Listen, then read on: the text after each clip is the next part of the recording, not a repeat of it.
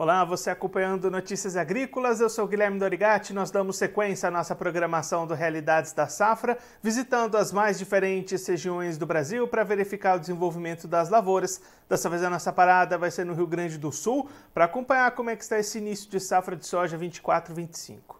Quem vai conversar com a gente sobre esse assunto, ajudar a gente a entender melhor todo esse cenário, é o Irineu Worf, presidente da ProSoja do Rio Grande do Sul, já está aqui conosco por telefone. Seja muito bem-vindo, Irineu, é um prazer tê-lo aqui no Notícias Agrícolas.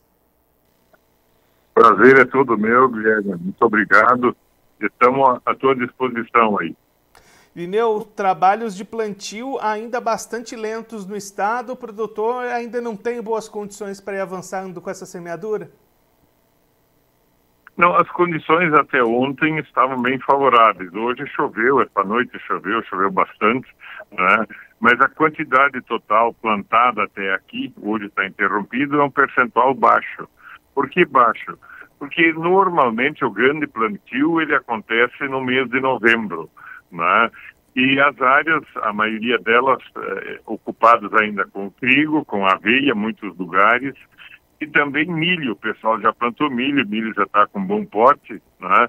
Então as áreas remanescentes para plantar soja no cedo são poucas, né? em todo o estado praticamente. Então o percentual plantado é muito baixo e a expectativa e o grosso do plantio, como se diz na gíria, vai ser após a colheita do trigo, que até foi um pouco, está sendo um pouco prejudicado pela chuva e vento que aconteceu esta noite passada e hoje, né? mas certamente a colheita vai se dar dentro dos próximos dias e a partir de então, já estaremos em novembro, quando será o forte do plantio. E aí, Irineu, quais que são as expectativas para essa temporada? As previsões, os mapas de clima apontam uma boa safra pela frente? Olha, o, o, a gente sempre tem que ter esperança na época do plantio, né, que é o que move o produtor a ter expectativa, a ter esperança de boa safra. O Rio Grande do Sul, é, em função de todos os problemas dos últimos anos, três anos com seca e o último ano com o problema do excesso de chuva, é, o pessoal tem anunciado, especialmente a Conab e também é, a Emater, que é o órgão ligado à Secretaria da Agricultura do Estado, tem, tem anunciado aumento de área e super safra. No entanto, na prática, no campo, nós estamos bem distante disso. Aumento de área é muito complicado, muito difícil, porque as áreas possíveis de aumento estão na metade sul do estado, a maioria.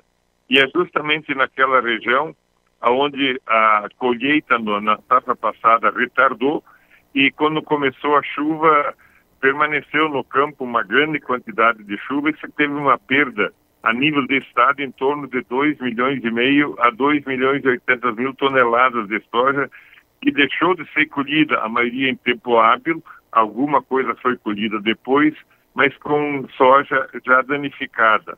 Em função disso, do baixo preço do mercado, naquela região, é, muita gente não vai conseguir plantar, ou se plantar, vai plantar com pouca tecnologia, e de resto, em todo o estado, praticamente, o, a grande quantidade de chuva lixiviou muitas áreas, lavou muitas, muitas coxilhas e alagou muitos, muitas áreas baixas, o que a, a, o pessoal não conseguiu é, não conseguiu colocar os insumos necessários para recuperar em sua grande maioria. Lógico que alguma coisa foi recuperada, mas para se esperar uma super, nós torcemos para isso, mas a, os fatores todos nos indicam que é bem complicado, e justamente em função dessa situação da terra, da, da área que vai deixar de ser plantada, e principalmente porque a, a solução do problema de financiamento das dívidas dos produtores, que já foi pleiteada desde o início do período da chuva, e as soluções de lá até aqui eh, anunciadas pelo governo são apenas paliativas e resolveram apenas parte do problema, ontem.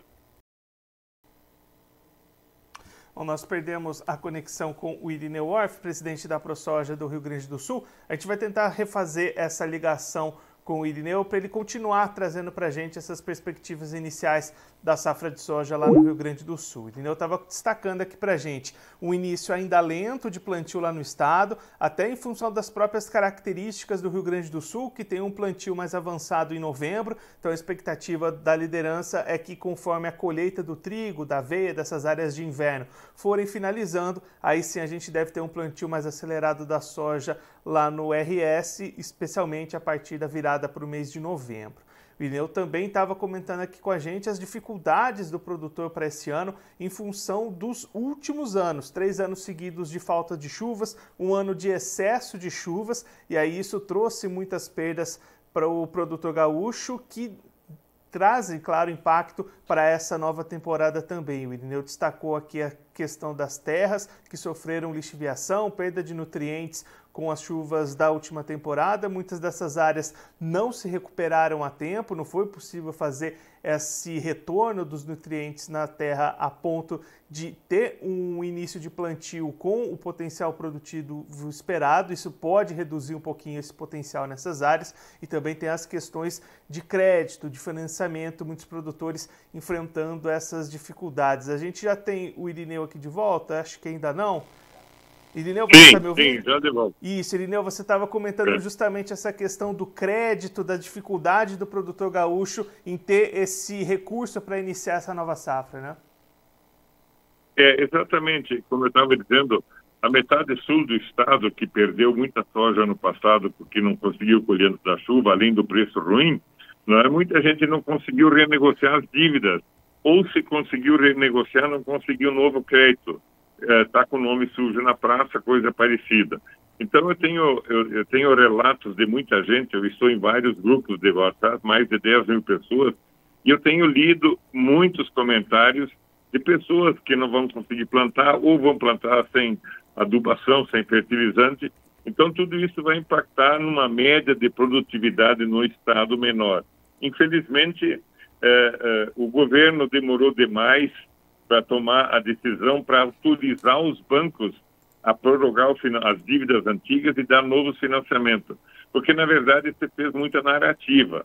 O governo fez muitas narrativas aqui e grande parte delas não foram atendidas. E mais, os grandes uh, uh, os financiamentos em si, não, nós todos sabemos que não é dinheiro do governo. O governo subsidia apenas o diferencial de juro.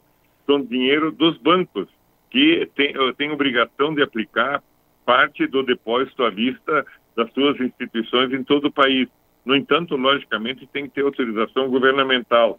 E essa autorização é que demorou demais para chegar. Então, passou, o início do plantio já passou e tem muita gente que não vai conseguir ter acesso por falta de garantia, né? porque para financiamentos eh, as pessoas têm que oferecer uma garantia na ordem de 130% a 150% é, do valor é, que está tomando de empréstimo. Então, isso vai impactar, quer queira, quer não. Né? Tomara que as áreas que forem implantadas com alta tecnologia e bem plantadas, em grande, na maioria das áreas do Estado, possam ter uma grande produtividade para que o Estado possa realmente ter um, uma grande produção. Essa é a esperança. Mas uh, nesse momento onde eles têm se inicia o plantio, não dá para não dá para ficar anunciando esses resultados antecipadamente com tanta força, com tanta evidência. Irineu, para a gente olhar um pouquinho para o mercado, como é que estão as condições de comercialização para o produtor gaúcho? A gente pode vislumbrar algum cenário de rentabilidade nessa safra? Olha, o, preço até bem, bem, poucos dias atrás, ele girava na volta de 120, 118, 125 reais, coisa assim, a nível de produtor. Agora, nos últimos dias, agora o preço tem reagido um pouco, principalmente o dólar se elevou, melhorou um pouquinho, mas o preço ideal seria, na minha concepção, na ordem de 150, 160. Esse seria um preço remunerador, até pelo custo da lavoura, não é? Mas isso, nesse momento, é expectativa. Os preços hoje até estão um pouco melhor do que uns dias atrás, mas a quantidade de soja disponível para comercializar, especialmente nessas regiões que têm dificuldade, é muito pequena, se é que ainda existe. E tem algumas regiões que o pessoal está um pouco mais folgado e tem um percentualzinho um pouco maior ainda para ser comercializado.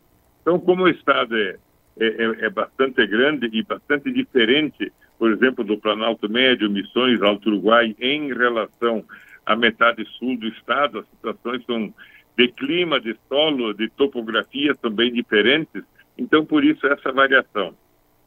Irineu, muito obrigado pela sua participação, por ajudar a gente a entender melhor esse cenário inicial de safra aí no Rio Grande do Sul. Se você quiser deixar mais algum recado, destacar mais algum ponto para quem está acompanhando a gente, pode ficar à vontade. Não, tá bom apenas agradecer mais uma vez a oportunidade, o Notícias Agrícolas. Eu acho que realmente é importante, até para as pessoas saberem.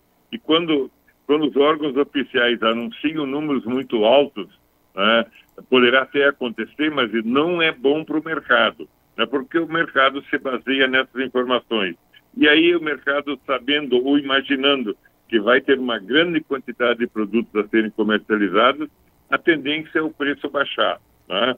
Então, eu acho que os órgãos oficiais deveriam ser mais realistas e pontuar essas questões que eu pontuei, que são os pontos uh, uh, que, que poderão impactar numa diminuição de produção. De toda forma, mais uma vez, muito obrigado, um abraço a todos. Irineu, mais uma vez, muito obrigado. A gente deixa aqui o convite para o senhor voltar mais vezes e a gente seguir acompanhando o desenvolvimento dessa safra no Estado. Obrigado, até a próxima. Tá bom, obrigado.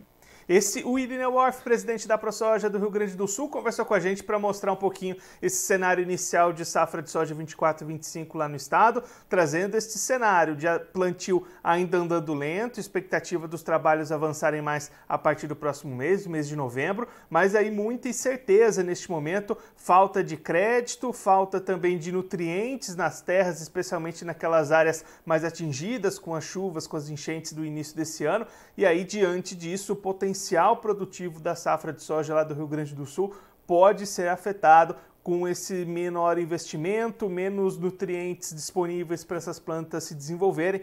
Então, o Irineu destacando essa situação tensa e incerta até este momento, tanto para o potencial produtivo quanto também para a saúde financeira dos produtores que não conseguiram negociar suas dívidas em muitos desses casos, não conseguiram acesso a novos créditos então, muita incerteza nesse momento inicial de safra de soja lá no Rio Grande do Sul, que, claro, a gente vai seguir acompanhando bastante de perto aqui no nosso Realidades da Safra. Agora eu vou ficando por aqui, mas a nossa programação volta daqui a pouquinho. Notícias agrícolas, informação agro relevante e conectada.